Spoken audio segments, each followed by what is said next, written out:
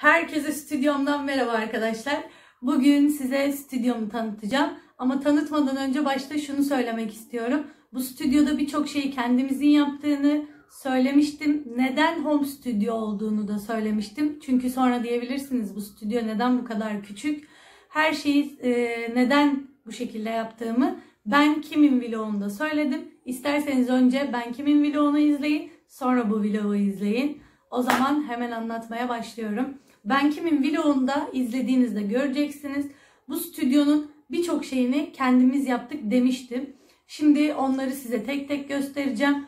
Öncelikle şu arkamdaki peteği ben yaptım. E, boyamasından tutun da işte kesip yapıştırmasına bütün aşamaları bana ait. Bir yerden görülmüş bir şey de değil. Ölçüleri kafama göre falan yaptım. Hatta şu an o, o derece ki ölçülerini bile hatırlamıyorum. Kaça kaç kestiğimi falan. Onları nasıl yaptığımı da inşallah e, fırsatım olursa size başka bir vlog çekip göstereceğim. Belki sizler de evinizde farklı renklerini ya da yine bu rengini dekor olarak kullanabilirsiniz. E, yine ben kimin vlogunda avize yaptığımı işte e, ne denir ona egzotik çiçek yaptığımı falan söylemiştim. Duvara çiçekler, e, egzotik çiçek de değil pardon. Egzotik yaprak yaptığımı söylemiştim. Onları falan size göstereceğim. Ee, onun dışında mobilyaları nereden aldık, ne kadar aldık, bu stüdyo aşağı yukarı kaç liraya mal oldu sizlere bunları anlatacağım. Dilerseniz hemen stüdyomu gezmeye başlayalım. Evet şimdi size şöyle dışarıdan bir e, göstereyim dedim. Şu kapıdaki çift taraflı bantlara takılmayın. Bu bantları sökeceğim arkadaşlar. Orada çok kötü bir görüntü. Burası içinde kapı girişi içinde farklı bir tasarım düşünüyorum kafamda. Onu da yaparken e, çekebilirsem vlogunu çekerim. Yakın zamanda muhtemelen yapamam ama yaptığım zaman da çekerim. Hemen az önce bahsetmiş olduğum şahane petek raflarımı size gösteriyorum. Bu raflar çok geniş raflar değil arkadaşlar. Üzerinde gördüğünüz şöyle yakından çekeyim. Ee, şişenin genişliği kadar falan yani 4 ya da 5 santim falan kesmiştim sanırım kenarlarını. Çünkü çok öne doğru çıkıntılı olmasını istememiştim. Ee, gold ve siyah olarak yaptım. Zaten stüdyomu bu şekilde yapmayı düşünüyordum.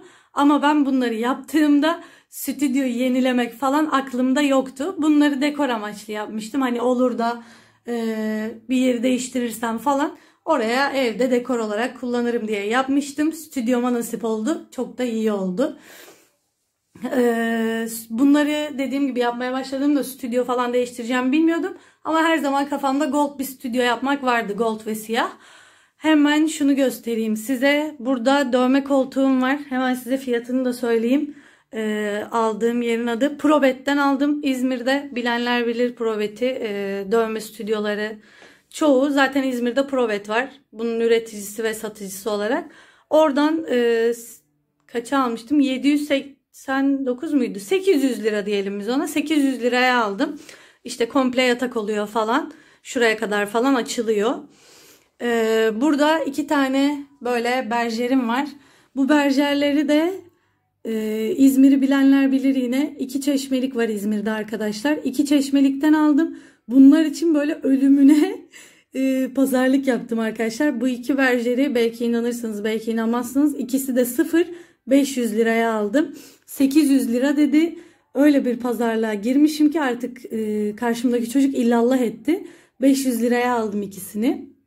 Hemen arkasında şöyle e, ne yeşili bu? Zümrüt yeşili mi? Çimen yeşiliydi pardon özür dilerim.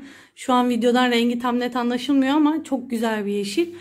E, bu fonu da e, benim kayınvalidemlerin apartmanında komşuları var. Perdeci bir abimiz Tolga abimiz.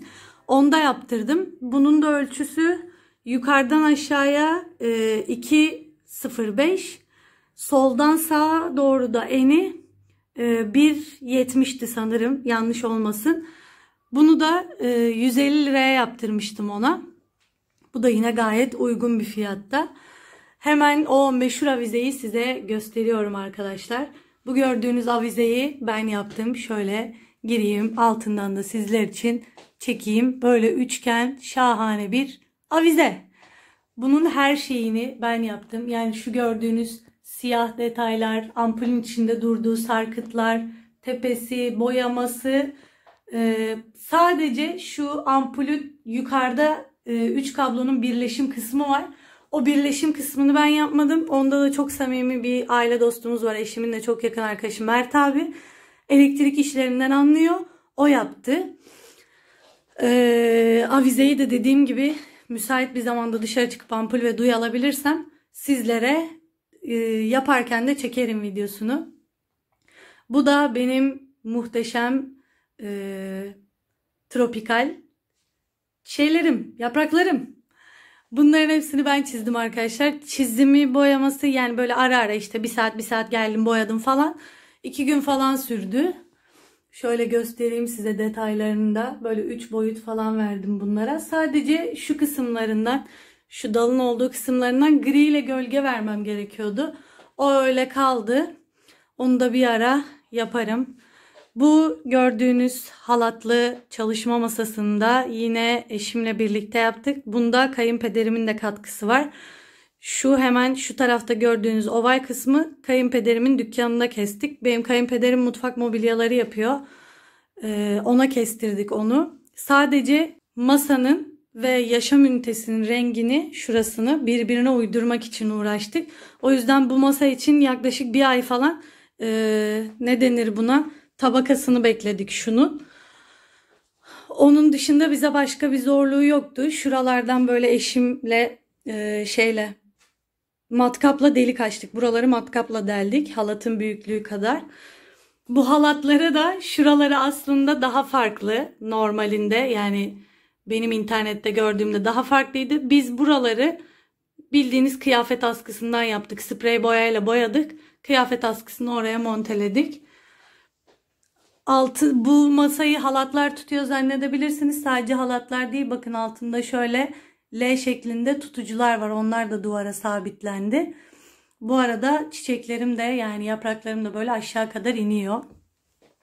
Hemen şuraya e, oturup size şahane yaşam ünitemi göstereyim yine. Burada da benim canım ciğerim yaşam ünitem var arkadaşlar. Yaşam ünitemi e, Vivense'den aldım. Vivense'den aldığımda bu petekleri, avizeyi falan yapmıştım. Dedim ki yaşam ünitesi de böyle hani kahve olsun içinde işte hani natürel bir kahve olsun. Gold ve siyah ağırlıklı bir şey bulalım. Arıyoruz arıyoruz bulamıyoruz falan. İki gün sonra e, Vivense'de gördüm.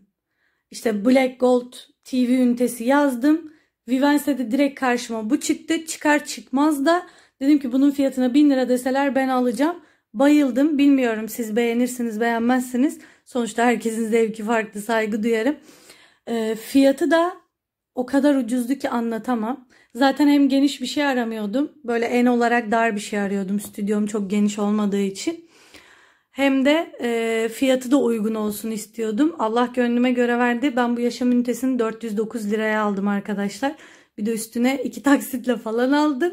Artı e, kargo ücretsizdi ben aldığımda. Ücretsiz kapıma kadar hepsi geldi. Biz sadece e, kayınpederim ve eşimle beraber bunun kurulumunu yaptık. Kurulumu da zaten yarım saat falan sürdü. Kurulum da yapıyorlar ama artı 80 lira mıydı 100 lira mıydı öyle bir kurulum ücreti vardı. Biz de dedik biz bu işi zaten biliyoruz kendimiz kurarız. Böyle işte yaşam ünitemizi de kendimiz kurduk. E, hatta üstünde şu gold yerlerde göstereyim şöyle. E, şuralarındaki şeyleri plexi korumalarını çıkarmadım Elis çizer falan diye. Hemen size başka bir dekor daha göstereceğim. Şu gördüğünüz dekorları ben kendim yaptım. Ee, inanırsınız inanmazsınız bilmiyorum ama e, çöp şiş çubuklarından yaptım bunları. Nasıl yaptığımı da isterseniz e, videoya çekerim. Videoya çekmemi istiyorsanız nasıl yapıldığını aşağıya yorum bırakın. Şurada bir farklısı var. Şöyle şunu içinden çıkarayım görün. Altı bu şekilde. İsterseniz böyle koyun fark etmez ama ben şu şekilde koymayı tercih ediyorum. Böyle yaptım altını. Küp gibi. Böyle dört boyutlu hatta kaç boyutlu artık bu her yerinden görünüyor küp olduğu. O derece boyutlu. Bu da yine başka bir renkti. Bunu da boyadım odaya uygun olsun diye. Perde bu arada tam bu renk. Ee, videoda belli olmuyor ama. Burada böyle elmas şeklinde olanı var bunun. Bunu da isterseniz dediğim gibi yazarsanız bana nasıl yapıldığını videosunu çekerim. Burada da böyle iç içe üçgenlerden oluşturulan küpler var içinde. Bu şekilde. Ee, stüdyom bu kadar arkadaşlar.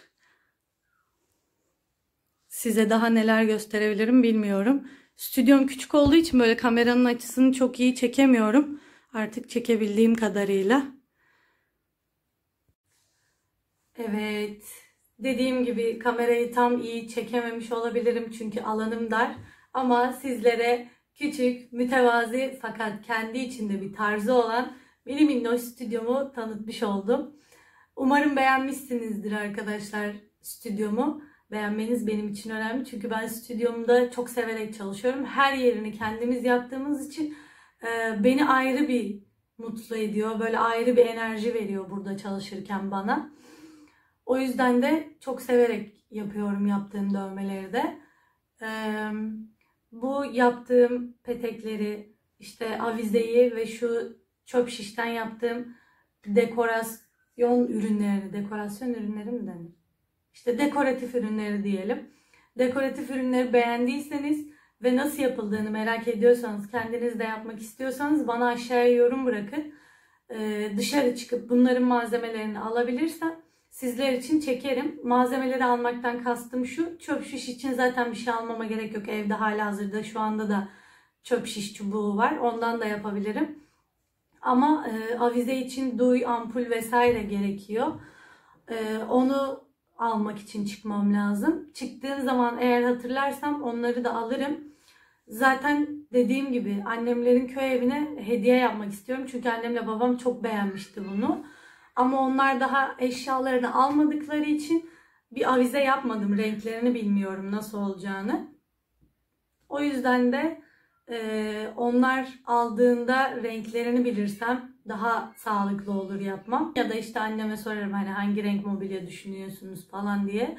O böyle renk söylerse ona uygun bir şeyler yaparım. El olmadı yaptıktan sonra baktım rengi uymadı yine boyarım.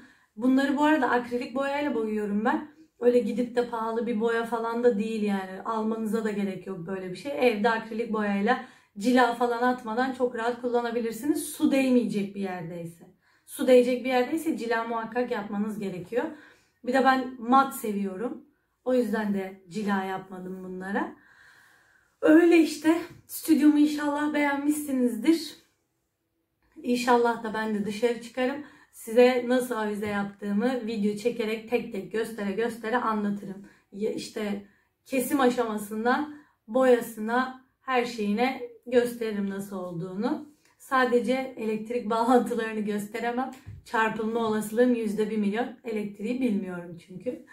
Onu da artık siz eşiniz falan biliyorsa ondan yardım alırsınız. Stüdyom bu kadardı. Umarım izlerken keyif almışsınızdır. Ben çekerken yine her zamanki gibi çok keyif aldım. Stüdyomu çektiğim için ayrı keyifliyim. Yüzümden de konuşmamdan da belli oluyordur. Ee, o zaman hemen klasik konuşmama geçiyorum. Sizi daha fazla tutmadan. Eğer videomu beğendiyseniz kanalıma abone olmayı, aşağı yorum bırakmayı ve beğen butonuna tıklamayı lütfen unutmayın. Bir sonraki vloga ya da videoya kadar kendinize iyi bakın. Hoşçakalın.